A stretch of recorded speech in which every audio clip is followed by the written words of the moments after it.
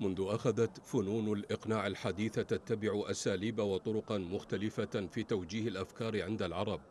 هي في حقيقتها ترمي إلى تشكيل العقول بطريقة تصبح فيها أكثر قابلية لتصديق ما يلقى على مسامعها وأقل قدرة على اختبار ما يقال لها وإخضاعه لموازين النقد. ولعل تعبير الأفكار المستوردة الذي يطرق الآذان بين الفينة والأخرى يلاقي موجة قوية من الاستهجان والتخوف مما يحمله هذا التعبير من خبايا طالما حذر منها من تفطن لها في وقت مبكر. فهناك كم هائل من الأفكار التي وقف منها العرب موقف الحذر الشديد هي تلك التي تتسرب إلى العقول خلسة بطرق ملتوية غير مباشرة وتؤدي في نهاية الأمر إلى تكوين اتجاهات ضارة لدى من يتلقاها.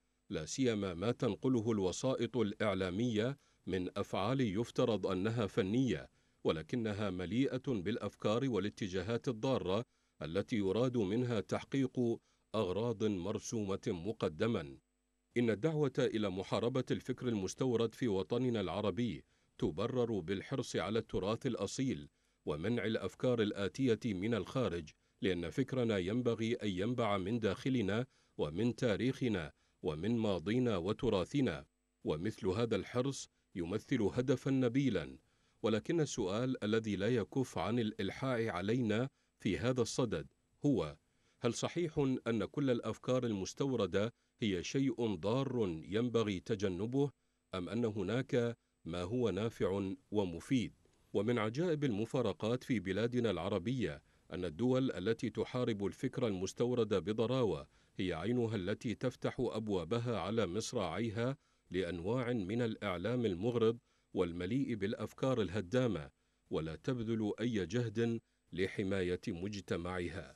ومن هنا تشعر الشعوب العربية أنها في أزمة أفكار بل وأزمة إبداع خانقة وإلا فكيف تدفع المليارات من أجل شراء فكرة مسلسل أو برنامج لا يمت بصلة لواقعنا بل يهدم المنظومة الفكرية والقيمية.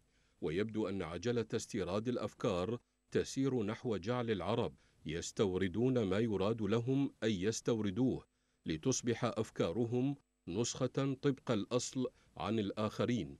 إذا لم يتداركوا استنهاض أفكارهم وأخذوا بالنافع من المستورد وإلا فكيف لمجتمع أن يحارب هذه الأفكار إذا كان يستورد كل شيء حتى العقول.